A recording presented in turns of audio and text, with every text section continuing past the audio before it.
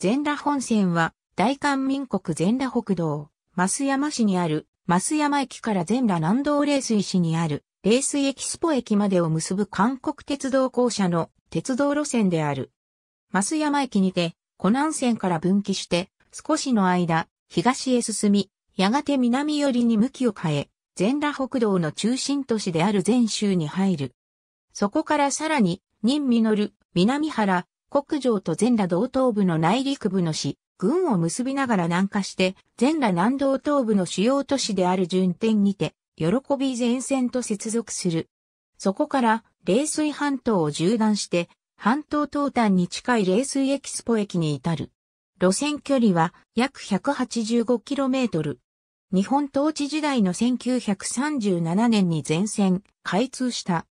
増山、順天間の開通を目指していた時期には喜び前、北部線と称したが、開通と同時に、当時、松冷線と呼ばれていた松なぎさざと順天、冷水交換のうち、順天冷水交換を線区外し、内里順天冷水交換を全羅線とした。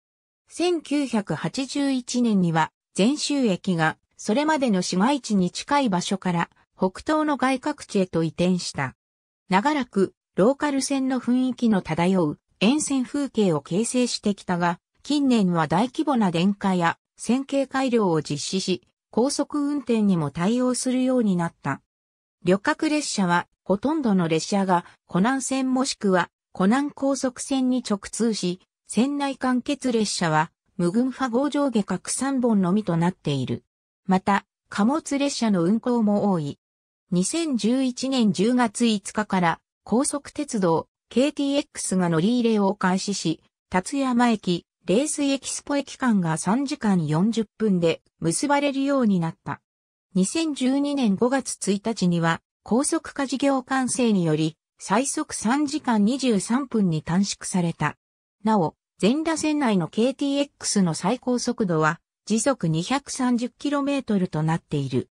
2012年5月12日から8月12日に開催された冷水国際博覧会開催期間中は普段よりも列車が増発され、KTX のうちより1本は最速の3時間2分で運転された。ありがとうございます。